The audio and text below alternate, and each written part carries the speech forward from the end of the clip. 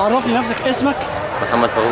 يا محمد انت شايف ليك فرشه هنا يا محمد في الميلان بتاع العتبة. ممكن تحكي لي اللي حصل؟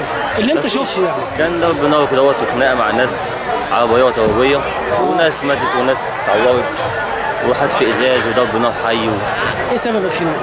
اتنين بيختلفوا مع بعض من الساعة 12 الظهر وصلحوهم وشوية الساعة 5 أو 6 لقينا قامت تاني الحكاية آه عشان يعني إيه؟ ده عايز إيه وده عايز إيه؟ عشان أذى ده عايز يحط أذى وده عايز يقول لا مش هحطه هذا آه أذى.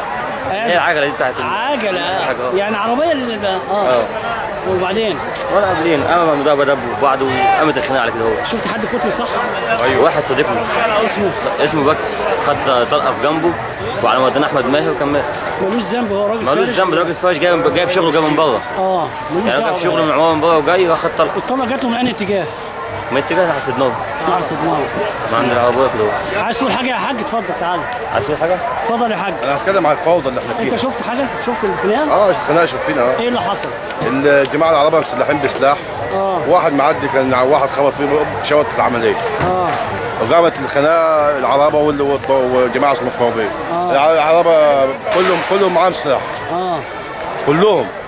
أصغر واحد أكبر واحد معاه سلاح كله طلع طبنجات وعدل في المليان آه. انصاب أكثر من من 20 30 40 نفر. آه. ناس ما عندها ذنب ولا سي ولا شمال ولا يمين. وكم قتل يا حاج؟ قتل حوالي قتل حاليا دلوقتي اللي ماتوا بالظبط اثنين تعرف أسمائهم؟